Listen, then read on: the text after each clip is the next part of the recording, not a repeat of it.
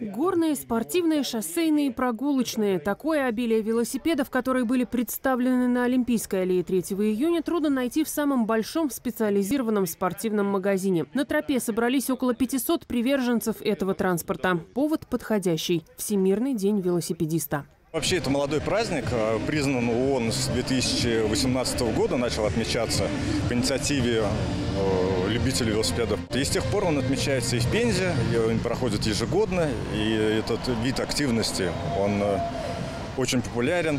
Участникам велопарада предстояло проехать дистанцию длиной 4 километра. Это большой круг по аллее. Каким по счету велосипедист пересечет финишную черту, не имело значения. Важнее было получить заряд бодрости и хорошее настроение.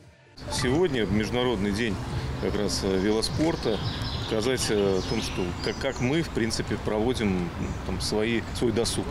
Вот, потому что про спорт э, не то, что там нельзя забывать, а вопрос не про здоровье, но спорт он воспитывает дух, волю к победе по жизни. Партия «Единая Россия», и мы, члены партии «Единая Россия», фракции участвуют вот именно даже своим физическими возможностями, именно показываем, как надо вот именно вести образ жизни.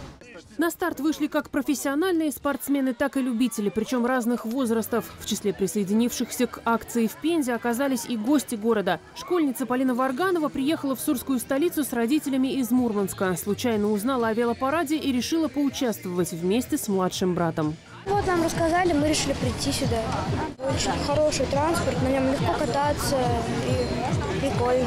Преодолеть путь велосипедистам удалось довольно быстро. Буквально через 10 минут показались первые финишеры. Все участники акции получили дипломы и памятные сувениры.